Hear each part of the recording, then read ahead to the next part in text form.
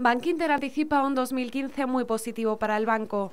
Gracias a la solidez de los resultados obtenidos en el pasado ejercicio y a una mejora de la perspectiva económica general. Sobre esa premisa, la entidad se reafirma en continuar ganando dimensión y eficiencia.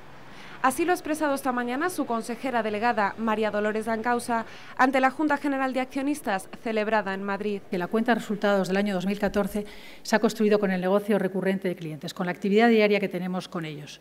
Los cuatro pilares en los que hemos basado los ingresos y los resultados de Bankinter, que he mencionado, banca de empresas, banca comercial, financiación al consumo y línea directa, eh, gozan de buena salud y todo nos hace indicar que van a mantener e incluso incrementar sus niveles de ingresos.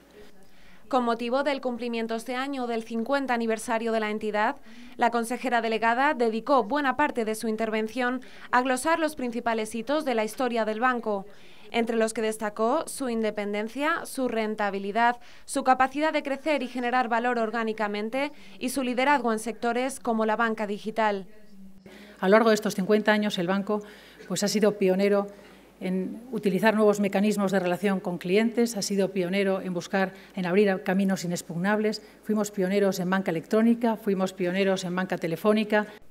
Por su parte, el presidente de Bankinter, Pedro Guerrero, refirió ante la Junta la solvencia de la entidad, su buena evolución en bolsa y el incremento de la retribución al accionista. Si en 2013 fuimos el mejor valor bancario por revalorización de los 49 que cotizan en el índice europeo Eurostock 600, en el año 2014 hemos sido los segundos de Europa y de nuevo los primeros de los bancos españoles que cotizan en el IBEX 35.